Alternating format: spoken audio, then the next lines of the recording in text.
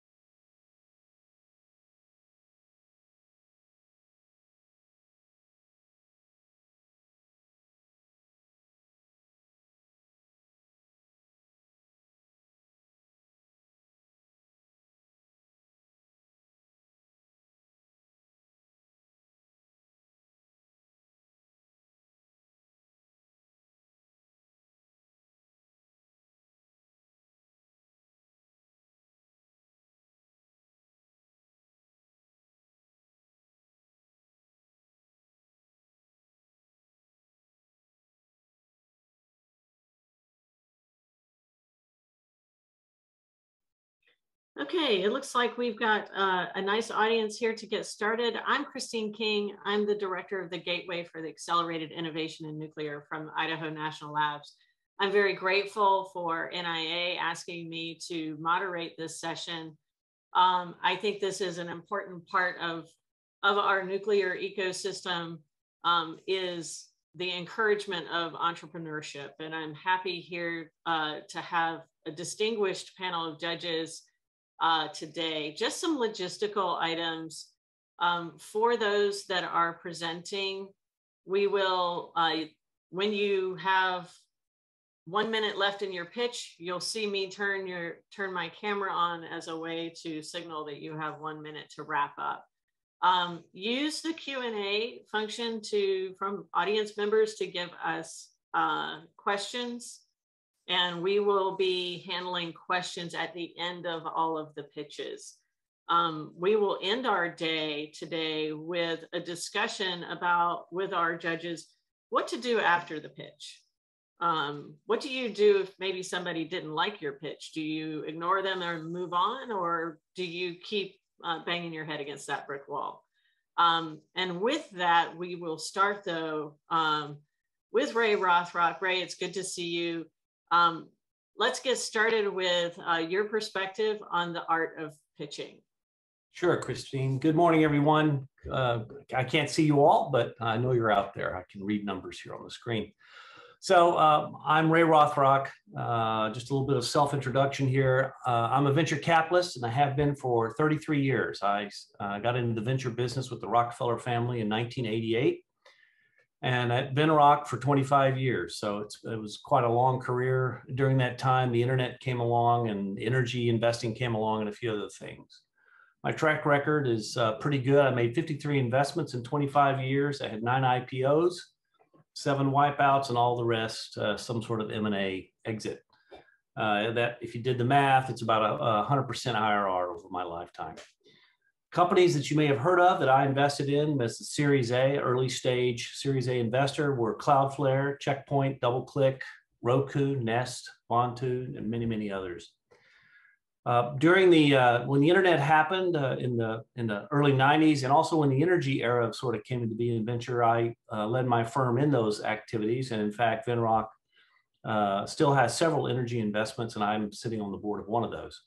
Anyway, relevant today, uh, I saw about 10,000 pitches. I actually kept a logbook for 25 years and added it all up and uh, collected the do's and don'ts and the goods and the bads. And you, you know, as Malcolm Gladwell says in his book, you need about 10,000 hours of something to be an expert. I don't know that I'm an expert pitcher, but I'm certainly an expert listener. And uh, so let me just give you a couple of points here. What's the point of the pitch? What is the purpose? The purpose of the first pitch is to get invited back to the second pitch. It's really that simple. Uh, and so if you think about what does that have to look like, what does that mean? What what do you do? So the, the first 10 minutes, first impressions are everything. So the first 10 minutes matters most of all. Your job in the first 10 minutes is to keep me in my seat, to keep me engaged, and to really kind of uh, uh, tease me with, I want to know more about your idea and about you. The next 30 minutes, of course, is to inform me and impress me of what you're doing is relevant, interesting, and worthy of my time, but more importantly, worthy of my capital. The final 10 minutes, and this is this is a big mistake people make, they don't ask me for anything. You should ask, uh, what do you want? How much money do you want? How much of the company are you willing to sell? Uh, and on and on. Do you, do you want do you want my money only? Do you want me on your board? Do you want you know, how do we, how do, how would we work together for this to turn out to be a good thing? So some do's and don'ts, the do's. Uh, you know, slide one is a very important slide. Uh, sometimes people hang on it for 15 or 20 minutes, which is really dumb. You've probably got a 30 or 40 slide pitch. And if you're on 15 minutes on slide one, uh, you're never going to finish. And believe me, people do get up and leave after about 40 minutes if it's not going well. Uh, so time is precious. It's precious to us. It's precious to you. Uh, don't tell a mystery story. So on the first slide, what's your mission and vision? Who are you? Why are you here? Just put it on the table. That way we all know what we're about to get involved with here.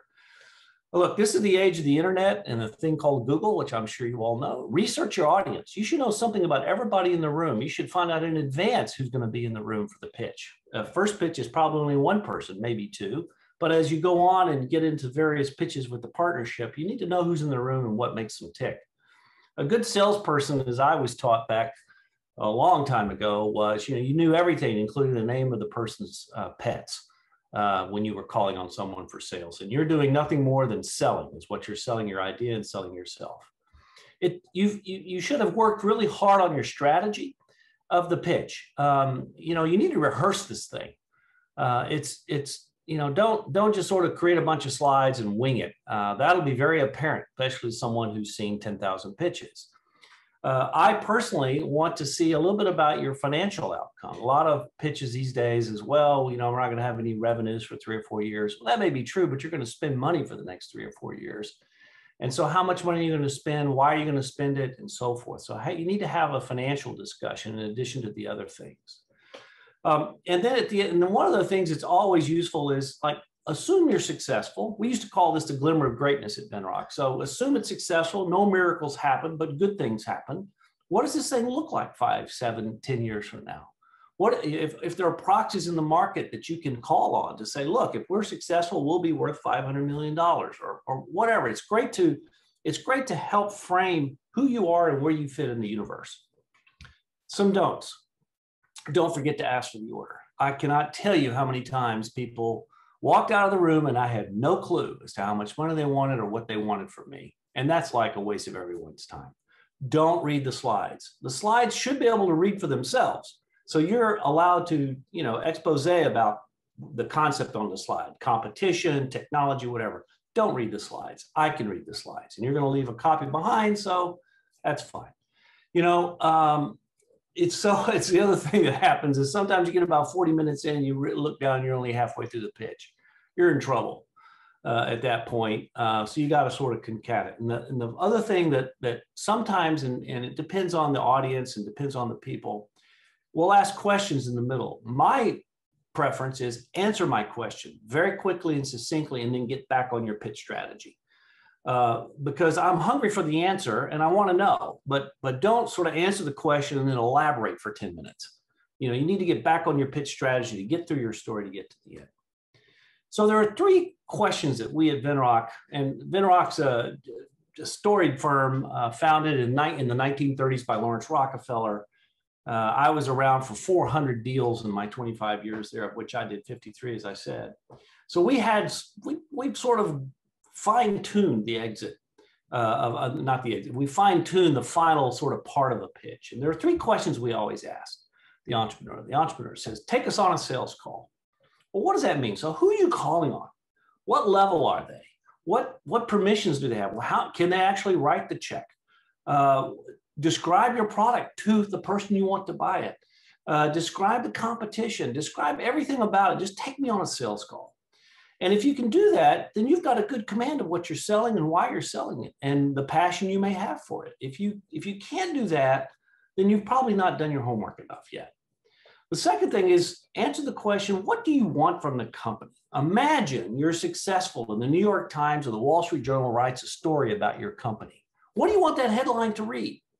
That's really important. Do you want to be, you know, do you, you know, is it, do you talk about the culture? Do you talk about the impact on climate? Do you talk about the profit you made? What, whatever. Just think about what those values are that you want that story to read.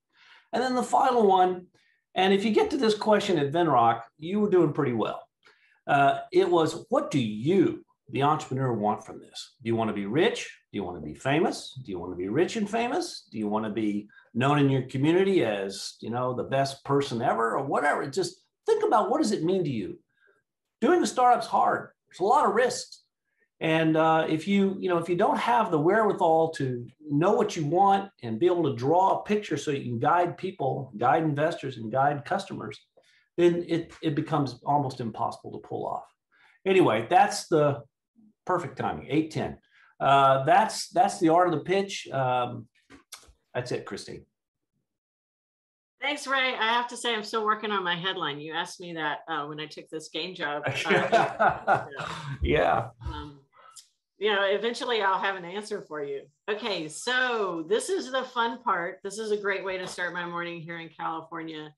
Um, if I could get Jared to come off or to turn on his camera and um, Leslie Dewan from Criticality Capital, Tom Rusert, and Carly Anderson. So these uh, four distinguished folks are our judges. Carly is from Prime Movers Lab. And Tom, forgive me for forgetting your company. I thought I had enough caffeine, but you're on mute, Tom. It's skilled speaking. Skilled speaking. Okay, see, that's funny. Uh, I, I would forget the skilled speaking title. Okay, so the way this is going to work, Jared's going to give his best pitch with all the energy he's he's got here today. Um, judges, we will come back to you in six minutes for feedback. Jared, take it away. Thank you very much, Christine, and thank you all for being here. I'm so excited to talk to you because I don't have any friends who are nuclear scientists, basically, except for one. Um, and it got me into the field. I was on Clubhouse about six months ago. I, am an artist, a writer. Um, I live in New York City, and I'm connected to a lot of culture here, like the art world and media outlets. And I, I uh, when I was a kid, I, I was really into robotics and like science and math, and um, I studied computer science in college. And but then I, I just I felt like I want to be free and tell stories and write poems and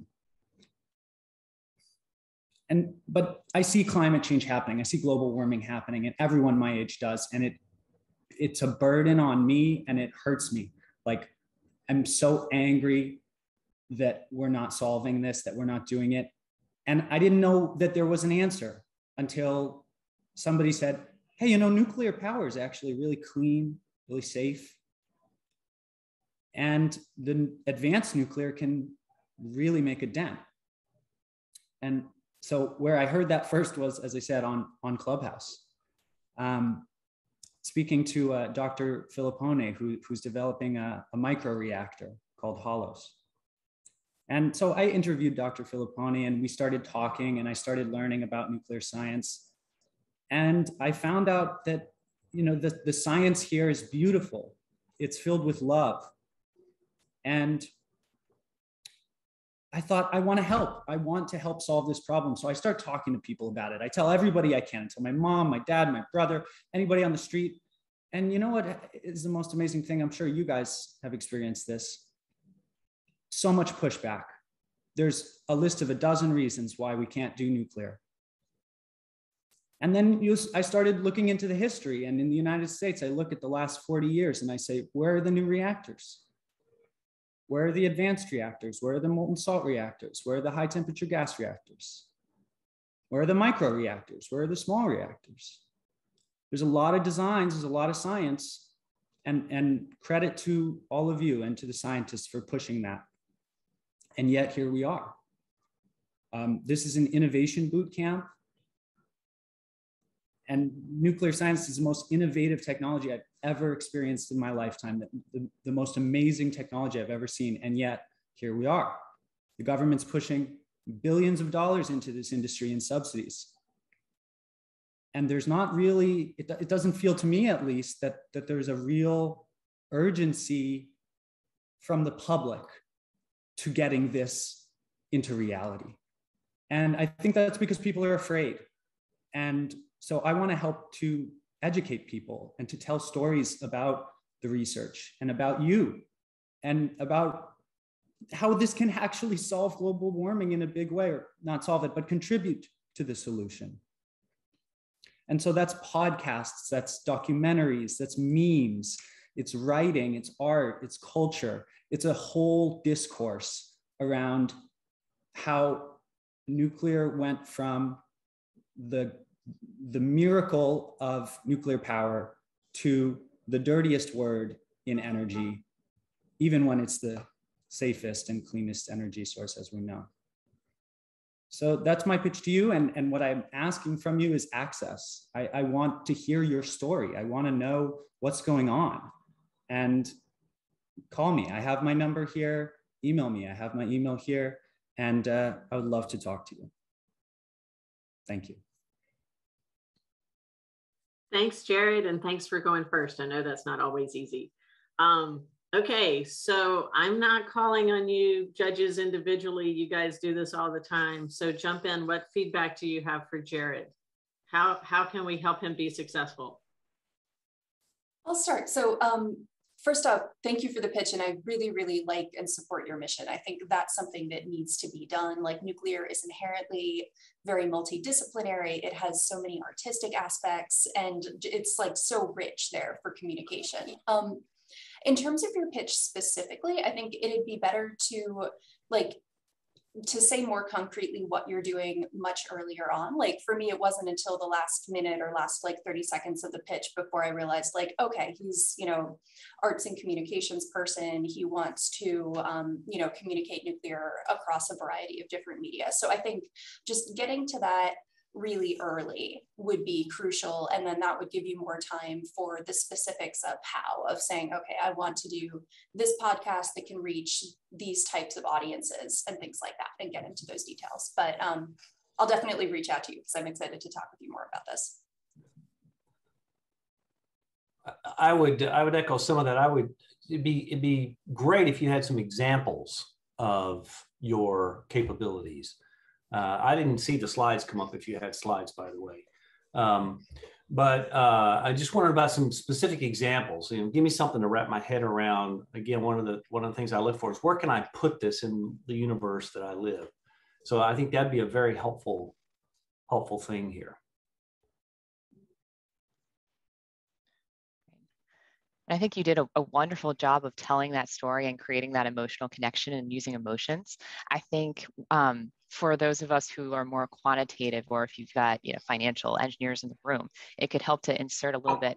Some like I also learned X, Y, Z, and drop in like three numerical facts, um, maybe about the amount of waste, maybe about the amount of energy provided by nuclear, and what that even better what that creates in terms of an economic uh, economic um, yeah. call to action. Uh, but overall, wonderful storytelling, weaving in some elements to um, maybe other audiences that think a little bit differently could make it even stronger. Um, and echoing what Leslie said about getting that getting that ask in uh, early, or like letting us know what kind of company we're talking to very early, because this is a really exciting thing that I think is needed. Uh. And if I can add one additional piece, I think also getting into more about why you are qualified to do this, like talking in a bit more detail about previous maybe related projects that you've done and like really just showcase your your expertise in this technically from a presentation standpoint i thought there was a nice tempo to it there was a bit of trailing off at the end of the sentences and kind of uh, getting a bit quiet. The gesturing with your hands sometimes called attention to itself. So you need to be a little bit careful on camera with, with our hands. The vocal variation was very nice. I, I thought your theme was really good, but I, I largely agree with, with everybody that uh, has critiqued you so far that, you know, zeroing in on two or three points, perhaps a visual aid or two would enrich and deepen the, the concise, credible, compelling story that you're trying to get to. Yeah. Okay, Jared, that so I have to admit I got the benefit of seeing Jared's website and some of his work. And um, I think Jared, at least you you probably got a few phone calls off of this to help you get started.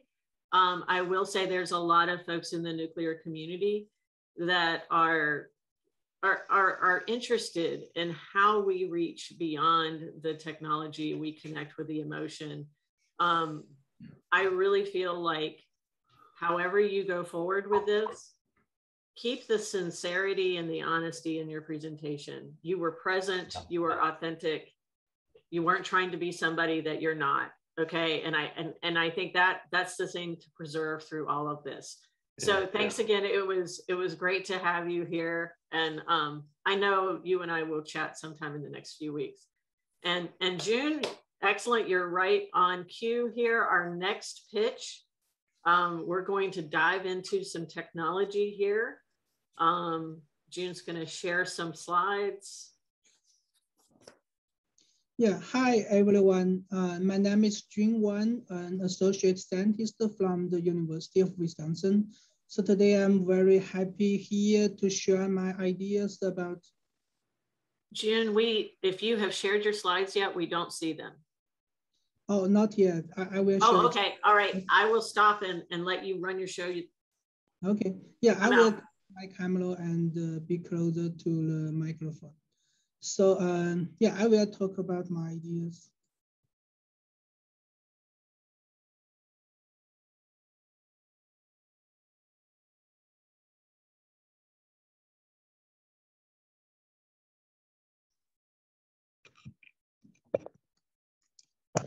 So um, so this idea is about um, building an at-home microreactor and uh, um, so it seems like it's super small and could be used in community and people can even build it into your house.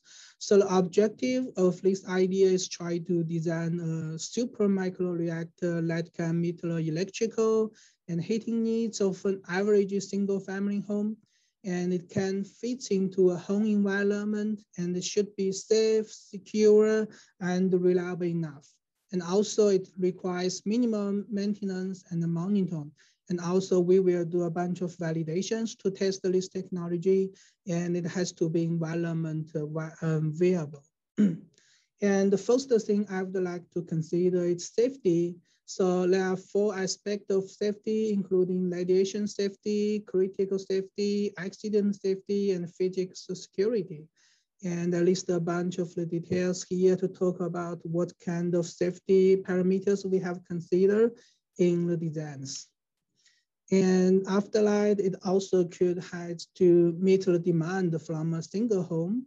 So um, as I evaluate, it could be something like 10 kilowatts, uh, might um, be range from 5 to 15 kilowatts. And also it has to meet the demand of load falling and thinning the grid and also using a home battery system. And the design should be small enough, both the head and width will be less than two meters. And it will be very short enough, no noise, don't disturb the neighbors. And also we will try to use the existing microreactor designs, the mature technologies, the ideas could be rely on one of the existing Los Alamos National Labs uh, design one kilowatts kilopower reactor. And uh, um, For the details for the reactor fuels, one of the option is U8MO meter fuels, which is, um, could be able to establish and test the design parameters and heavy meter density and with a very good thermoconductive performance.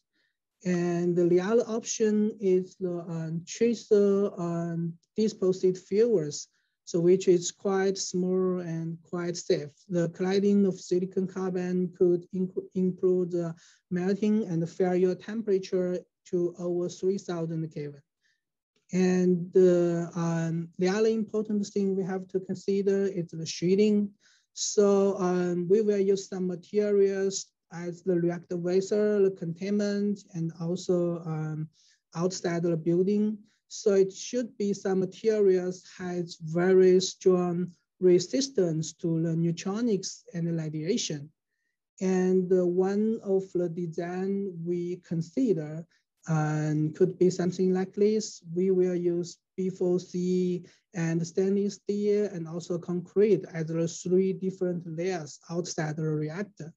And we will conduct both numerical and experiment to test the performance of the environment to make sure the safety is under control. And uh, uh, the other side of the design is the conversation. So we have uh, three kinds of options. The first one is steam turbine, which is very popular in existing nuclear power plants. The efficiency is super higher, but it's very large. And the other option is thermoelectric converters, it's more cheaper, no noise, super good, and just with low efficiency. So it's also one of the option. And the third one is Stirling converters. The uh, efficiency is 25%. And I think it's a balance of the noise and cost. And it's our current option. And uh, uh, the last thing we, we want to consider is the waste heat. So um, beyond the electrical, we can also um, use the waste and heat from the reactor. So we can use the heat uh, to provide heating in winter, and also we uh, use it to heat the water, and also we can use it for cooling uh, system, and also many different applications such as greenhouse and COMSOL and something other things like that. And it's a summary of the design. So first, it's uh, around um, 10 kilowatts electrical power and 40 kilowatts thermal power. And we will use the cylinder and continue the research to op optimize the fuels. We will have a very strong shielding system, which can uh, go against the neutronics and gamma shield. And we will consider concrete boundaries and uh, uh, we might use sodium heat pipes as coolant and use Stirling engineers for the system. And so I hope these ideas of the at-home reactor could success in the market. And I would like to thanks for my collaborators. Um, thank you very much. Excellent. Thank you so much. All right. So judges, uh, June, if you could uh, come bring your camera back up. Perfect.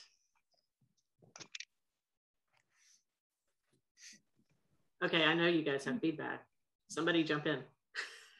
I'd say one of um, so first off, I really like how like out there this is and how different it is from so many of the other like advanced reactor um, pitches the key things that I'd want to see are more about what your timeline would look like, because it seems like there are a lot of design choices that are open-ended. And so I'd want to see more about your pathway for figuring out when you're going to um, make those options more, uh, when you're going to lock them down. Um, and then the other piece is a cost estimate, because I suspect that this might be um, pretty expensive. So I'd want to see how that could compare to other options for, uh, for electricity in this market.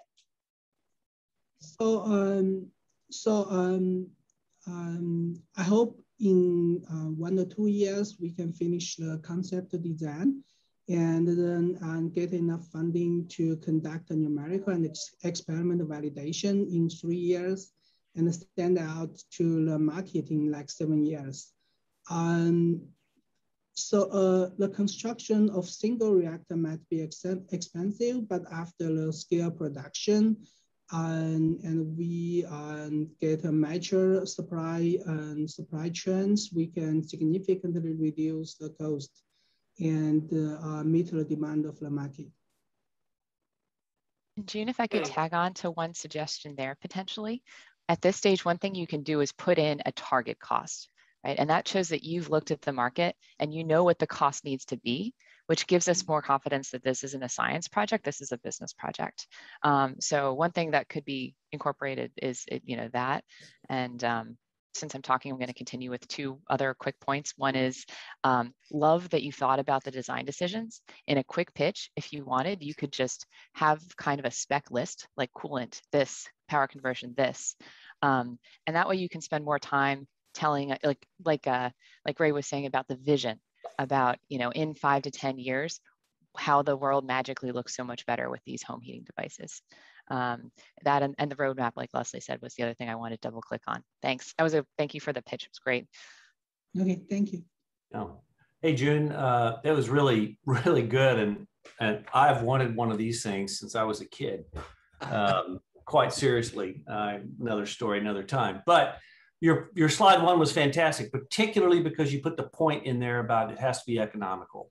So many ideas people will work forever and they really don't get it. So, Carly, good for you for bringing that up as well. Sort of, it'd be great to sort of uh, put an envelope about the cost and what what the risks are in that cost.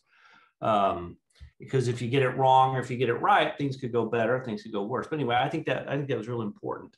You uh, also you had that uh, slide with the Tesla battery, so you you helped me put this physically in my mind where it might fit. And I, I don't have a Tesla battery, but I see people with them. So I get it. Um, the, the one, you know, the, the, this is a retail product per se. Uh, I might have, uh, I certainly would ask if we were in the first meeting, so how much have you learned about, uh, I don't know, uh, how would I call it, retail safety? Um, you know, uh, local laws and compliance and stuff. For example, here where I live, uh, I went to the town and asked if I could put up a small windmill to generate power, and they said no, because um, they don't want to see these things above the trees. Um, anyway, it's sort of have just no one's going to say, oh, yeah, bring those nuclear reactors on, but at least address that issue because I think that's pretty critical. Anyways, good pitch. Nice job for five minutes. Very good. Thank you. Couple thoughts on the actual science of the presentation. June, I would move back a little bit from your camera. You're, you're really close, not too far back, but you're really close and watch your posture. So that much better that we can, I kind of felt like your face was so close to the camera that it was, that it was um, calling attention to itself. The slides versus speaker notes, my, my feeling about the actual slides where they were a little dense for the amount of time trying to listen to you. You were kind of reading some of the slides. I felt like the rea reactor design shielding slide was particularly good. A Lot, nice pictures, two or three points were clearly made. And I, I really like that. And it's a good example. I think uh, a good part of those slides where you could have three or four bullets could be in your speaker notes as a sideline so we can both comprehend what you're what we're hearing and take in also what we're reading. The um, as far as vocal variation you have a wonderful rich voice and i'd like you to expand on that. Uh, 80% of the virtual presentations anymore are more like a radio show and it's really important that you use your voice and open up your articulation. You you have a bit of a what we call it in the Midwestern world a tight jaw, and you're speaking with a tight jaw. So I would suggest opening up your articulation and slowing down a little bit and adding that vocal variation because what where you're headed with the product uh, with the additional critiques being commented on is, is very interesting. I've seen a lot of these at Berkeley, and this is a fascinating potential product. Thank you. Thank you. I think you probably have an audience full of early adopters, June. To be quite honest with you, yes. I'd be right. I'd be right in line. I'd, I'd I'd be looking at what I had to sell to buy what you got. So keep on going. Um, all right, I see Charlene and Hadisa. If you guys, Charlene, will you be making? There we go. You guys are in control. I will go off video.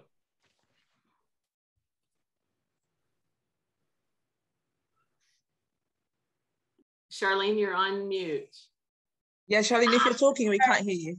Can you hear me now? Yes. Yeah, we can hear you now and we can see your screen perfectly. Okay. Good morning, everyone. Welcome to the portable energy revolution. All around the world, disasters are wiping out access to electricity.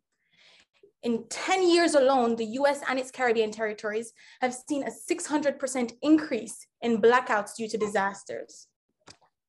So imagine that you are a decision maker in one of these disaster relief organizations. When these disasters occur, renewables are insufficient because they can only supply a small amount of the total demand. So really your only large scale solution is to deploy fossil fuel generators. But these are problematic because they're slow on arrival, can take up to months, they're expensive, require constant refueling, and they contribute to carbon emissions. What's worse is that these fossil fuel technologies are going to be more restrictive in the future because they don't meet international net zero targets. So what other options do we have? Ladies and gentlemen, we would like to introduce you to SubR Technologies, the zero carbon portable marine power station that can provide purified water and electricity to at least 200,000 people. We address the pain points of being faster, cheaper, and aligned with net zero targets. So you see when a disaster occurs, there are two main problems. You have generation and you have transmission. Transmission can be reinstated within a week, but when generation is down, it can take up to years to get back online. We satisfy this need by rapidly deploying to the disaster zone and temporarily providing baseload energy until the land systems can be restored.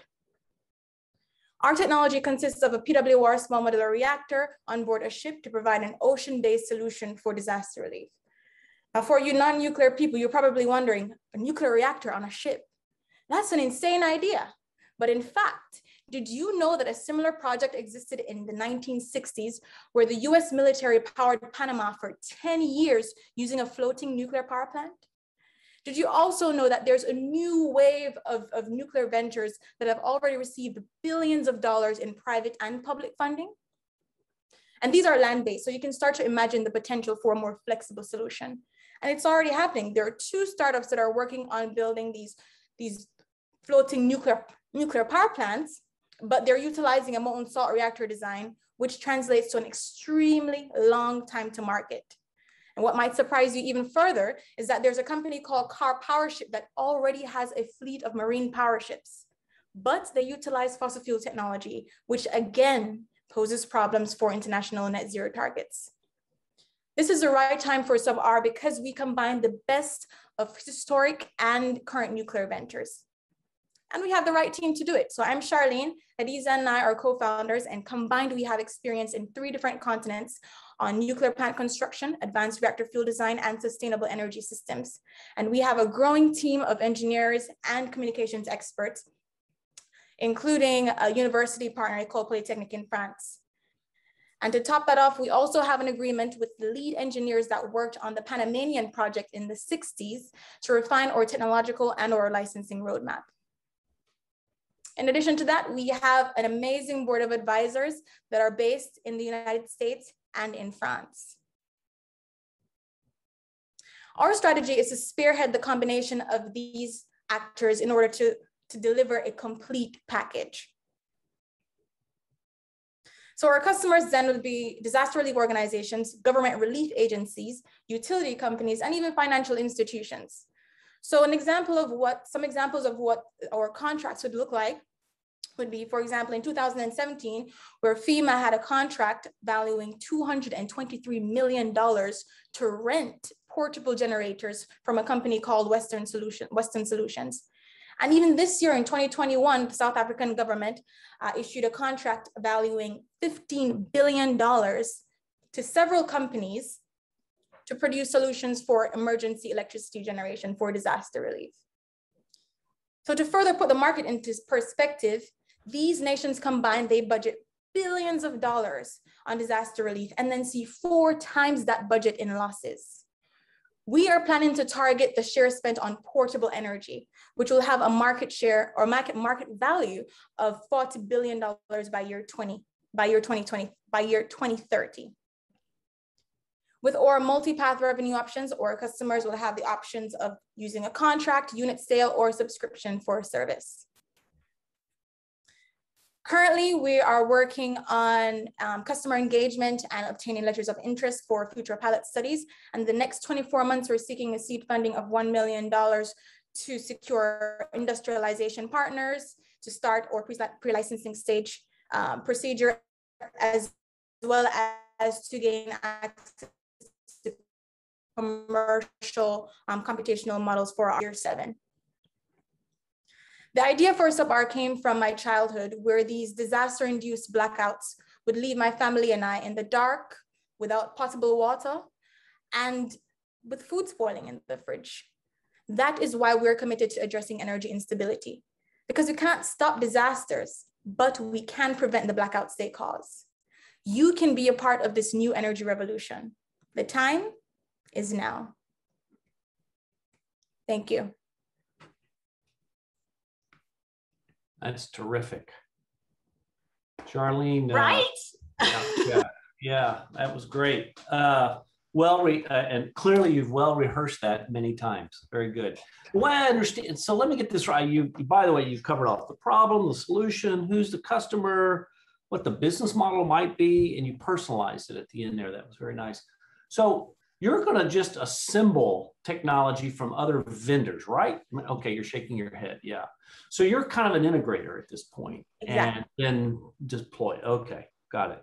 How much how much money do you think uh, I I'm just it was a very good pitch. Uh, you really did cover off all the basics, but do you do you think this is a is this like a, a small amount of money, 100 million, or is it a big amount of money, a billion? Uh, to, to, to integrate one of these ships. And, oh, by oh, a little tidbit: uh, Laurance Rockefeller actually did this back in the 50s uh, with a ship a long time ago. Uh, just talk about trivia. So, uh, is it a, is this a big financial problem? Uh, a big financial commitment by somebody?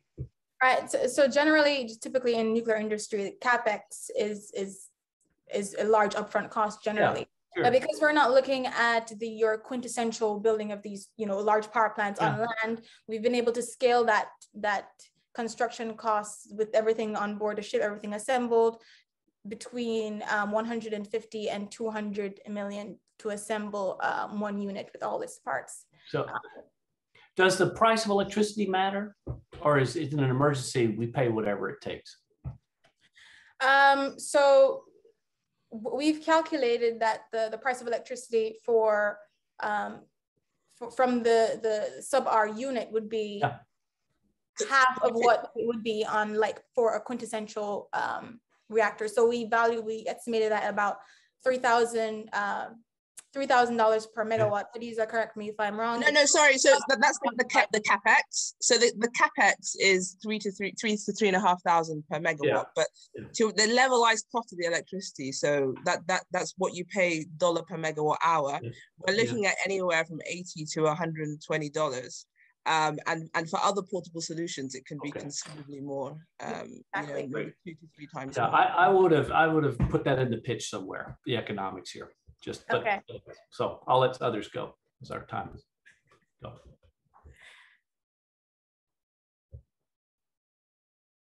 Yes, yeah, that was quick. just to, to echo what Ray said, that was fabulous, like super polished. It answered um, just about all of the questions that I would have. Um, you know, the one additional piece that Ray mentioned was including price of electricity and kind of ballpark that against what a trucked and diesel generator would cost, for example. Um, I especially liked the slide that said, okay, you know, there is precedent for this because it kind of showed where you are positioned in the market space, talking about historic reactor designs, new reactors, um, new ship-based nuclear reactors, advanced nuclear in general. I thought that was very, very helpful and would translate across a broader audience. Um, and yeah, this, this is maybe a finer tuning thing. It could be interesting to bring your personal story more towards the beginning, but it also worked where you had it right now. That's a, that's a finer piece. I, I loved it. That was, that was fascinating. And thank you for it.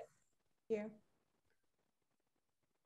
yeah i think my my three favorite parts were that you like established the directionality at the beginning with this problem is getting worse that you gave the concrete examples both in both in terms of you know ships that exist western solutions all the things we need to see to say like oh this there are companies like this we can see how it fits together and the credibility you established on those team slides going through that. I thought that was fantastic and something that a lot of uh, you know people can struggle with in this space if they come from one sector. But I, that was just wonderful. One thing you could touch on is the regulatory. Um, that could be just a sentence or two.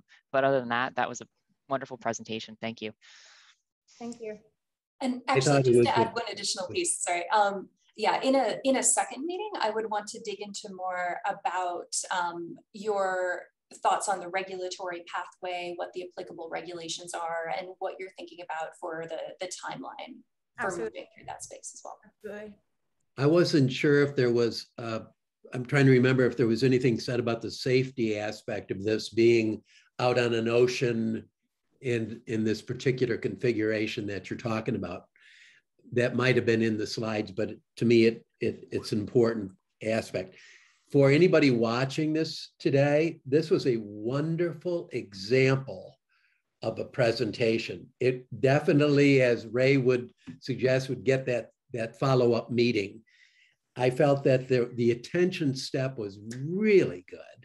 And the conclusion uh, that the time is now, you said in the beginning, in the uh, at the end, in the beginning, you said 600%, you had an attention step. You, you said, imagine these things.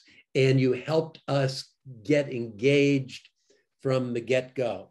The use of, I'm sure Puerto Rico, by the way, could really have used this particular uh, design.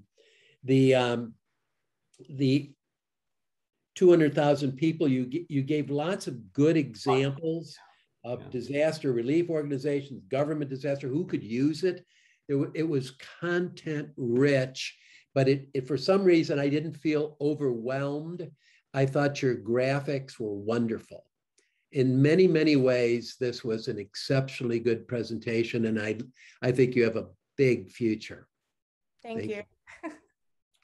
okay, so I think we have to um, we have to let a little bit of the secret out that Charlene is a graduate, right, of the Nuclear Innovation Boot Camp.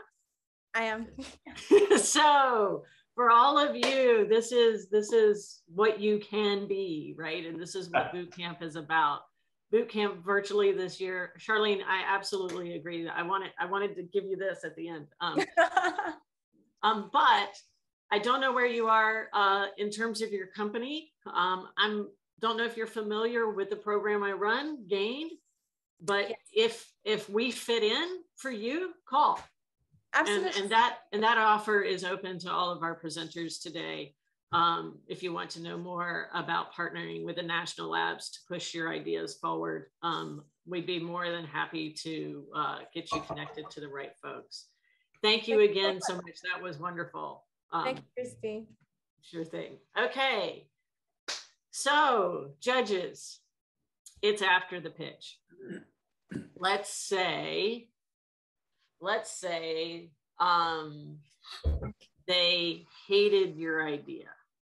Do you give up? Do you walk away? How you know do you want somebody calling you back if they've if they've addressed your concerns? What do they do? I, for, so, for me, you know, there there are a lot of mountains to climb, uh, and um, if if the investor that you're pitching doesn't like it, don't push it. Uh, there's lots and lots and lots of places to get the kind of capital you need to do your business. So don't, you know, I just really I don't push it. Uh, the one thing you might want to keep in mind, and I've used this a lot, is if the investor doesn't get back to you and say, no, thank you, not for us, then you should hold that in mind because when other entrepreneurs are checking out investor types, you know, you can just remember, well, this guy kind of, this gal kind of treated me poorly, didn't tell me that I wasn't interested in all that sort of stuff. It's a small world at the end of the day in the entrepreneurial community. And, and uh, uh, I think it's really important to have a proper closure. Okay. Carly? Yeah, the two questions I would ask is what would you need to see to invest, especially if it's going badly? Because you want to make sure you understand why you're not interested in investing. Is it is it a stage issue? Is it a thesis issue? Is it a personality issue? Um, and that way, if it's a stage or something like that, you can follow up with, uh, do you mind if I keep you in the loop for future updates? And that way. All right. So Carly, we had you in the middle of the the last question to ask. Um, so here's the thing, right? This could happen to you too, right? You could you could get booted out. Don't let it fluster you, right? Get right back in there, pick up where you left off, and and do the best. So Carly, um, let let's try to finish strong here. Finishing it with, you know, don't push it. Make sure you understand why, if you can get that feedback, and also create uh, a, and channel for follow-ups down the road. That was my, those were my comments on after the pitch if it does not go well. And start to open, the, open the second one. I got it. I, I would like to uh, comment about uh, managing the Q&A. Oftentimes when parts of the pitch may not have gone in the direction that you want them to go in, managing the Q&A can become a, a really critical part of it that you can actually be prepared, anticipate what questions might be asked, which is really important. And also, and you might sometimes ask a question just to thought start the activity to encourage the audience to participate. So that these types of elements, always thank your uh, the person that the, the questioner. And uh, and sometimes you need to repeat the question depending on the cultural variations in the audience and who's present and so on and how big the audience is oftentimes repeating the question for clarification re reassures the person asking the question that you heard what they said and as, as well as uh, the entire audience particularly if you don't have if you're not mic'd in in a room Whoops. Sorry, I was talking and I was on mute. Okay, so um, let let's talk about um, what do you so as a startup, as as an entrepreneur, what do I work on first? Do, do I need to spend all my time on the development of the idea? Do do I focus on finding the right people, um, or is it just you're doing everything? I mean, I, I, see by the smiles it's you're not sleeping and you're doing everything. yeah, yeah. Leslie will. Leslie can vouch for that. Um, look, I think you know a, a, new idea, and all these were interesting and new ideas in some respect. You, need credibility. Uh, so you should certainly spend time on identifying the kind of talent you need and, and how much money and what you're going to try to accomplish with it. But but you need to look for sources of credibility. And that can be customers, that can be other people, that can be research you can cite. Um, uh, you know, the those are those are really important. A lot of a lot of VCs these days won't even fund something without a customer or two. There's still a bunch of us that'll do it without that. We, you know, I did Cloudflare, which was three people in a slide deck. Um, but I had a lot of knowledge about where they were headed. So, uh, but it's about credibility. So think about how to establish that and, and what you need to bring to the table so that you're credible and the and investors will give you the money to give it a shot. That's that's excellent advice. I think um, you know getting getting that and that certainly is something that there's a lot of creative different ways to do that. It doesn't necessarily have to uh, come through that first order. Leslie, do you want to remark on maybe, you know, th- things you wish you had focused on or, you know, how did you, so for those of you that don't know, Leslie is, uh, um, it doesn't seem right to call you the ex CEO. We'll say the former CEO of Transatomic Power. But um, do you want to talk a little bit about how you split your time up? Absolutely. Um, so hmm, that's it's a bigger question actually thinking about you know in a in a company that wrapped up operations now about two and a half years ago it's certainly a lot of a lot of lessons learned but i i think one of the most important things taking a step back is to be able to learn from your mistakes so that you're not making them twice. So figuring out what went wrong why it went wrong and doing a really solid analysis saying like all right this this thing failed. Why did that happen? Why did that happen? Why did that happen? And like really digging into it as much as possible i found to be very very valuable. Excellent. Okay um like to tack on to that like i feel like there's a lot of people in the industry who are having that exact same experience leslie of like you know these ideas are not necessarily new you've got microreactors on ships from 70 years ago and so we've got a host of these experiences happening again and again and again. And so it's like, what is at the root of that? And I don't think it's, you know, I, I don't know. I don't know the answer. And I'm, that's what I'm curious about. That's, yeah, that's an interesting piece. And just to, um, yeah, I've been thinking about that more, more broadly in the context of the nuclear industry as a whole. So like thinking about not just, you know, mistakes I have made, but also thinking about, you know, what what did the nuclear industry do wrong or right back in the 1950s and 1960s in the first atomic age? And now, as we're all re entering, hopefully, the next atomic age, how do we learn from those past actions? How do we make sure that we're not repeating the same mistakes? How do we make sure that we're communicating with the public that we're designing technology that people want in a manner that's safe and economical and proliferation resistant. Yeah.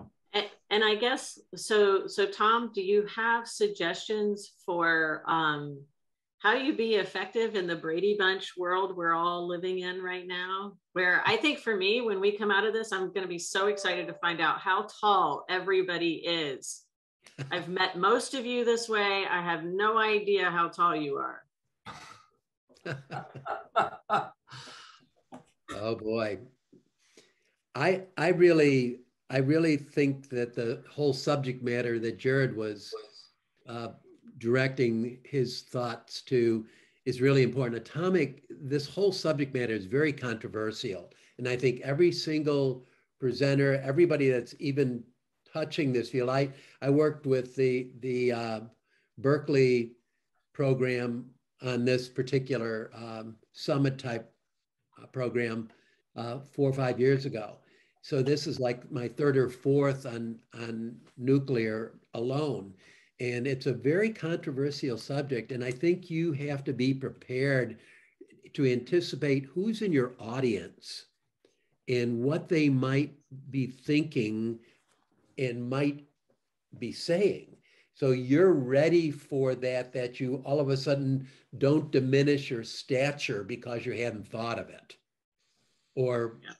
or blow them off, so to speak, because their, uh, their question's controversial. You have to be, you have to be prepared for, depending on how you're approaching this. So thanks very much, everyone. We are going to end um, just one minute early because we need you to sign out of this session and sign in to the main boot camp where we're going to start off our day with affectionately who I'm starting to call the other Christine, Christine Savinicki or Christine with a K. Um, and uh, I'm sure everyone will have a wonderful day with the boot camp. There's multiple sessions to join into. And thank you for being here. Thank you for loving the technology that I have loved for so many years. And to our judges, thank you for your valuable time and your insights. Um, I know I took some notes for when I leave my GAIN job and I start to build whatever the heck I'm going to build. all right. Bye, everybody. Good luck to you all. Happy Thanks, hunting. everyone. Thank